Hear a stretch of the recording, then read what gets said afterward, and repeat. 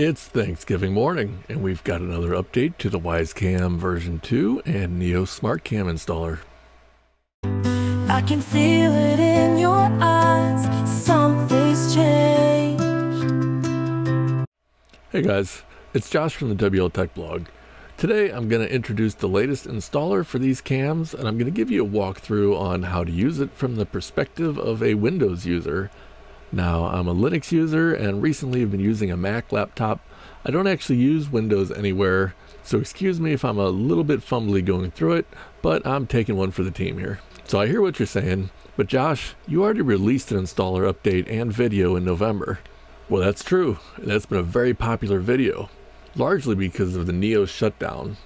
For those of you who aren't familiar with it, Neos is a company in the UK that was selling a product based on the Wyze Cam version 2 They used their own cloud service, and on the 19th of November, they shut the whole thing down and left all their customers screwed. As we already supported the Wyze and Thingino, it was straightforward to get the Neos branded cameras working as well. I've had a few iterations of my installer, and I've been updating it over time to make the process as simple and reliable as it can be. But when you have thousands of folks flashing their cameras, even a 2% failure rate ends up being quite a few folks. Some of those folks were just not following the instructions, some were having issues with SD cards, and some of them, well, we just don't know because users generally aren't set up for doing that kind of diagnostics. Now, of course, we help all the people with issues over on our Discord channel. These cams are nearly impossible to actually break. But our devs were spending more time fixing cams than improving the firmware, and today I'm presenting the result of much effort from the team. Let's get this cam set up and I'll tell you more about the changes while it's running. First off, if you're not familiar with Thingino, it's a project producing an open source firmware replacement for Ingenic based cameras. It fully replaces the insecure and untrustworthy vendor firmware and puts your data back in your control. Check out this video to learn more about it. Now, as always, you want to make sure you're following the instructions in the README on the repository for the installer. If anything changes in the install process, it'll be reflected there. I don't actually make a new video for every little change. Today, the instructions perfectly match the video. Alright, here we are in Windows. We're going to go ahead and download the installer from the repository. The link's down in the description. Here's the README. We're going to click on the zip file here and it's going to take us to another page and click the download icon over here on the right. Next we need to get an SD card ready.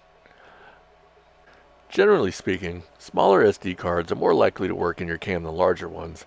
I'm using a 32 gigabyte card here.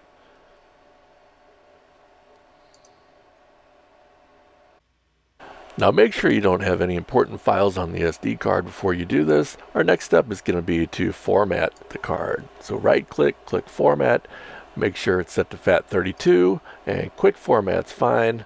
Go ahead and click OK and it's going to erase all the data on that card and get it nice and clean and ready for the installer. Now we're going to go over to the Windows File Manager and into our downloads you can right click on the zip file that we downloaded, go to extract all, and then we're going to hit browse and we're going to select the SD card. Go ahead and hit start and it'll uncompress to the SD, which should only take a couple of seconds. And when that is done, we're going to go ahead and again, we're going to right click on the SD card and we're going to pick eject. That's going to cleanly unmount it and have it ready to go into the camera. So go ahead and pop her out. For this demonstration, I have the Neos firmware running, but it doesn't matter if it's Neos or Wyze firmware. The process and the experience is exactly the same. Make sure the cam is unplugged. Now let's pop in the card. The SD card slot is on the bottom here. And it should click right in. Before we plug the cam in, we need to press the reset button on the bottom. We're actually going to hold it for about 5 seconds after plugging it in, so make sure you've got your finger positioned right. One, two, three, four, five. And there we go, let go. Now we wait, and the cam will do the rest of the work on its own. It takes about 4 minutes. Now, while we wait, let me tell you about the differences in this new installer. The previous versions all relied on the excellent WZ Mini Hacks project, which is kind of a firmware extension that runs on top of the factory firmware. When the installer ran, it would boot all the way to a working cam before it starting the steps of flashing, and occasionally things would go wrong. Among other things, I've seen instances where a critical process would crash, it would hit the watchdog timer and reset the camera mid-flash, leaving it in a state where it doesn't work, but also isn't broken enough to go right into the recovery mode. This new version completely bypasses the factory firmware and loads a custom kernel and minimal user land with no other jobs other than to prepare the camera for flashing. I also have all the files you need included in the installer zip so you don't need to go downloading additional files. And we auto detect which hardware version of the cam you have, and we stage the proper firmware. A great new feature is that we're also creating a backup of the factory image, which can be used to restore the camera back to a working state with the vendor's software.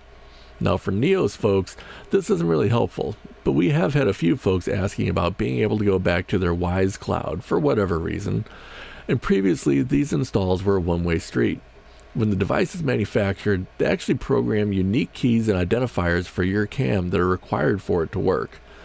So if that seems like something you'd like to have as an option, save that backed up firmware file. After the backup is done, we install our Thingino bootloader, which has a ton of features, including the ability to flash the firmware from SD if a special file name exists. That's how we're going to finish the process, by renaming the correct firmware file to that special name, which is autoupdate-full.bin.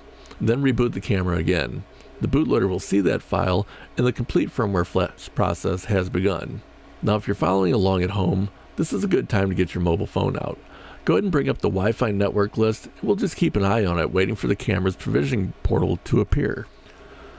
Go ahead and bring up the Wi-Fi network list and we'll just keep an eye on it waiting for the camera's provisioning portal to appear. The network will be Thingino dash and then some letters. Once it appears, we'll go ahead and connect to it. If you're on an Android device, it should automatically take you to the config page.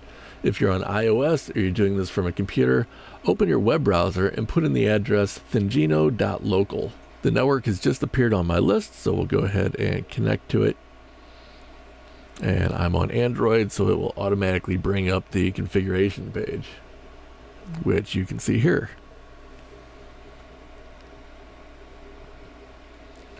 Now you can put in your desired root password. This is used for logging into the device with the web UI or using SSH you can change the host name if you like and this is where you also enter the credentials for your wireless network. So go ahead and punch those in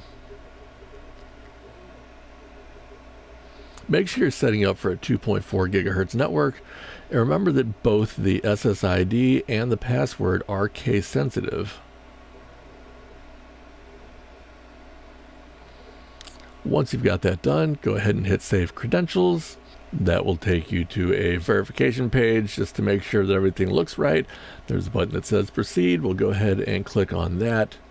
The camera will now save those settings and restart, and it will go ahead and get connected to your local Wi-Fi network. It takes about 30 seconds for the camera to come back up. Now, if your router supports it, you should be able to access the camera using the host name that you saw in the field. But we do have a relatively new feature where if the camera is connected to your Wi-Fi network, it'll actually read out your IP address if you tap the button. So we'll give it a few more seconds to get booted up here.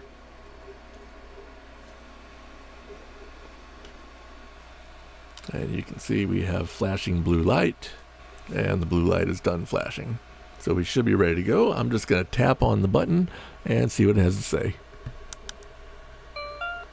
Address is 192.168.82.175. So you can go ahead and type that address into your browser and you'll be brought to the web UI. Again, this uses the username root and the password that you provided when you were at the config portal. Now at this point, you have a fresh Thingino camera. You can see the live video feed on the preview page without sound, or you can use a variety of tools to access and manage the video stream. I'll be covering some of those options in future videos, so stay tuned for that. But if you're not sure where to go, check out TinyCam Pro on Android and Frigate on desktop.